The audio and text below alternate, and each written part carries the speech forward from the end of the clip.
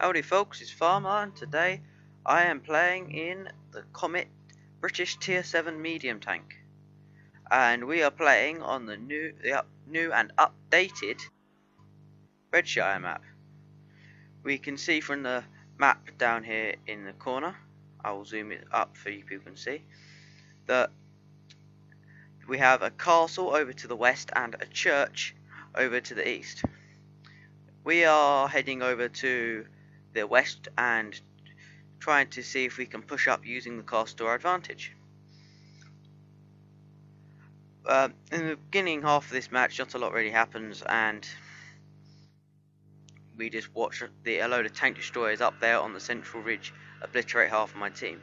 But with these new updates to the map, I feel that the team that starts on the southern end of the map have a better chance of winning because all the tank destroyers seem to camp along this ridge and if uh, heavy tanks we seem to push round up the heavy tank road in the EF 9 and 0 area.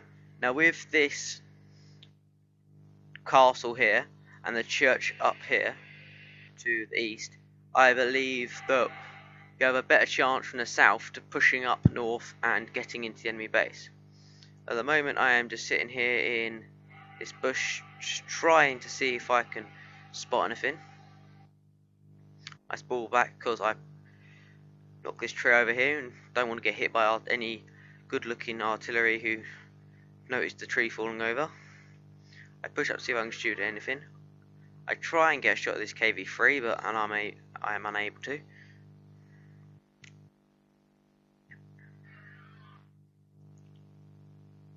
Try and search a shot on the KV-3 but can't find one. Try and get a shot at the Tier 7 SP-1C but get hit by a tank destroyer up there on the ridge. This tiger then tries to push that around the side of this rock. Again starts to get hit by multiple tank destroyers up there on that ridge. I use this opportunity to push down into the town. I fire one clutch at the KV-3 as I drive past. I manage to get into this low ground with a bit of cover from the buildings. I try and push round up on top of this ridge here, see if I can get any kind of shot onto the central ridge, and then I get hit by a T-28 prototype. At this moment in time, I was actually panicking because I know how strong the frontal armor is on this T-28 prototype. But for some reason, he doesn't want to turn his turret round and engage me. So I encircle him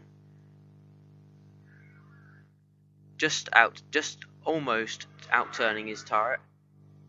But he just spins the gun round. I, because I know about his slow track traverse, I manage to always keep in front of his gun.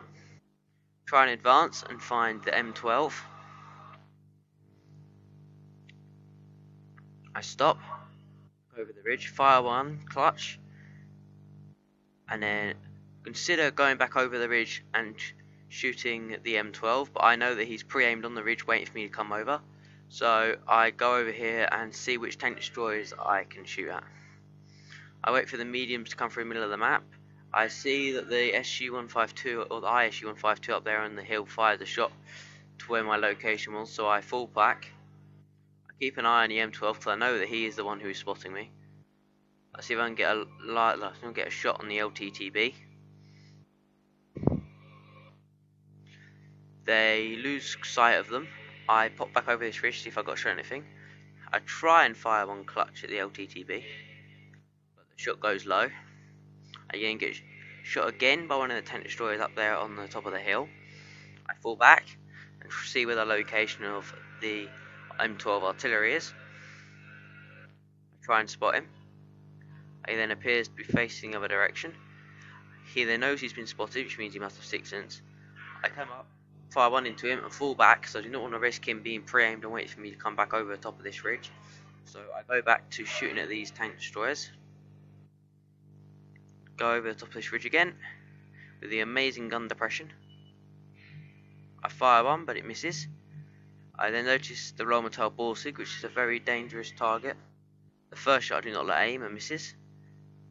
I keep an eye on him and then he falls back and I can use the uh, use the amazing DPM to just keep pumping shot after shot after shot into the Rheinmetall Borsig. And we get the kill. So this is our second kill of the game. The LTTB is trying to engage the Panther back there more towards the centre of the map. I push over to try and see where the M12 is now, because I see that they're all the heavy tanks are all pushing into the centre of the map. He turns to engage the heavy tanks, so I finally decide to come over the ridge and finish him off. And then pop over top his ridge to try and get a shot against the LTTB. But I fire the shot just a second too late. And we win the match. So I hope you liked the gameplay from the Comet. Please like, subscribe and comment. And I'll see you guys in the next video.